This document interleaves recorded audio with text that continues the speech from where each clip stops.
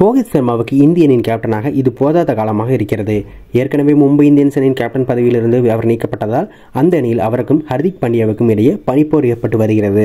ஏற்கனவே மும்பை இந்தியன்ஸ் அணியில் ஏற்பட்டிருக்கும் பிரச்சனை அவரது கவனத்தை பாதித்திருக்கும் நிலையில் தற்போது இந்திய அணியாலும் ரோஹித் சர்மாவுக்கு ஒரு பிரச்சனை ஏற்பட்டிருக்கிறது. இதன் மூலம் ரோஹித் சர்மா சக வீரர்களிடையே சரியாக நடந்து கொள்கிறாரா இல்லையா என்ற கேள்வி எழுந்துள்ளது. இந்தியனின் ஆஸ்தான விக்கெட் கீப்பராக இருந்த ரிஷப் பண்ட் கார் விபத்தில் சிக்கியதை அடுத்து அவருடைய இடத்தில் இசான் கிஷன் களமிறங்கினார். எனினும் இசான் கிஷனுக்கு நினைத்தபடி பல வாய்ப்புகள் கிடைக்கவில்லை. எனினும் கிடைத்த வாய்ப்பை அவர் நன்றாக பயன்படுத்திக் கொண்டார். வெஸ்ட் இண்டீஸ்க்கு எதிரான டெஸ்ட் போட்டியில் கே எஸ் பரத்துக்கு பதிலாக இசான் கிஷனுக்கு தான் முன்னுரிமை வழங்கப்பட்டது. அதிலும் அவர் நன்றாக விளையாடினார். இந்த நிலையில் டி டுவெண்டி கிரிக்கெட்டில் திடீரென இசான் கிஷனுக்கு பதிலாக ஜித்தே சர்மா சேர்க்கப்பட்டது அனைவருக்குமே அதிர்ச்சி ஏற்படுத்தியிருக்கிறது. இந்த நிலையில் தமக்கு மனதளவில் ஓய்வு தேவை என்று கூறி இசான் கிஷன் இந்திய அணியிலிருந்து அதிரடியாக விலகினார்.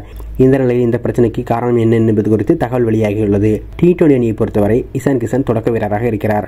ஆனால் அணியில் ஏற்கனவே ஜெய்ஸ்வால் கில் போன்ற வீரர்கள் வாய்ப்புக்காக காத்துக் கொண்டிருக்கும் நிலையில் நடுவரிசையில் மட்டுமே விளையாட இடம் இருந்தது. ஆனால் இசான் கிஷனுக்கு அந்த இடம் சரி வராது என்பதால் அவரை அணியிலிருந்து நீக்கிவிட்டு ஜித்தே சர்மாவை இந்திய அணி நிர்வாகம் கொண்டு வந்தது. இந்த நிலையில் கேப்டனாக Rohit Sharma T twenty cricket திரும்பியவுடன் இந்த நிலை மாறும் என இசான் கிஷன் எதிர்பார்த்திருந்தார். ஆனால் ரோஹித் சர்மா இது குறித்து கண்டுகொள்ளவில்லை. மேலும் இசான் கிஷனை எப்பொழுதும் போலவே விளையாட்டுக்காக திட்டியிருக்கிறார். இதனால் கடுப்பான இசான் கிஷன் தமக்கு இந்திய அணியில் இடம் வேண்டாம் என்று கூறிவிட்டு தற்பொழுது சென்று விட்டார் அது மட்டும் இல்லாமல் ஹர்திக் பாண்டியாவுடன் இணைந்து தற்போது பயிற்சியிலும் ஈடுபட்டு வருகிறார்.